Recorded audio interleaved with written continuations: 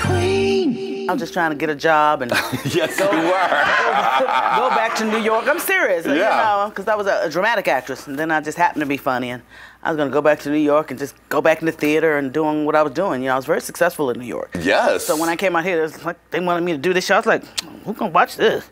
And I did it, and who knew? Yeah. You know, you never know. Because you thought it was going to be for 227, we're talking about. You thought it would be, because you had just done Moscow on the Hudson with Robin Williams. Yeah, and I was scheduled to do another movie and another new and a play. I mean, right? So you were busy doing your thing. You had been on tour around the country. Yes, very, and- very, yeah. Yeah. I mean, a workaholic. I still am.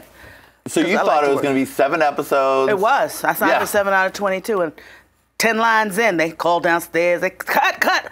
I thought they, I said, I'm fired. I'm fired. and they made me sign a paper for all 22 episodes. Wow. Who knew?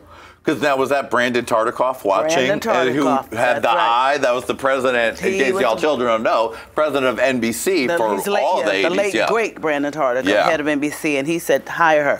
And uh, you know, met with some, you know, some some little uh, Pushback. bastards. Yes. a little, uh, a little You say it, tension yeah. on the set. but I understand it now. Yeah. Hindsight is 2020. Well, now to fill in the children that might not know one of the most delicious stories of behind the scenes drama of all the 80s. Lady Red, I know you know all this. And Jackee, I'll say it for you. And you can just mm, make expressions. but uh, Jackee came on 227, which was meant to be Marla Gibbs' star vehicle because she had just spent on The Jeffersons, the breakout star of that. So she finally got her own show. And who came up into the show?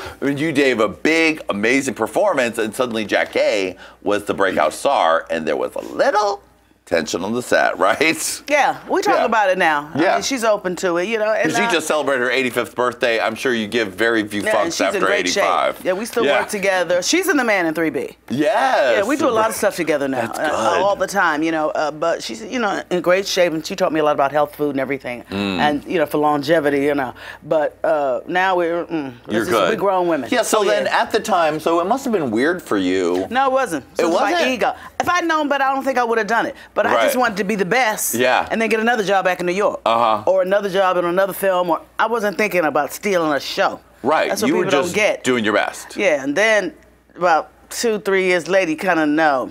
And then I knew, you know. So it didn't really trickle down to you on the set at the time. You were just coming but I in could to work, feel, doing I your could feel thing. it. Yeah, but I didn't care because they didn't go home with me. Right. You know, and I had all kind of men and booze big house on the hill, Jaguars. Yes, you did. I was the it girl. No, really. Yes. And who got that picture? You? Who, oh, oh, no, Lady Red. The That's one you that one.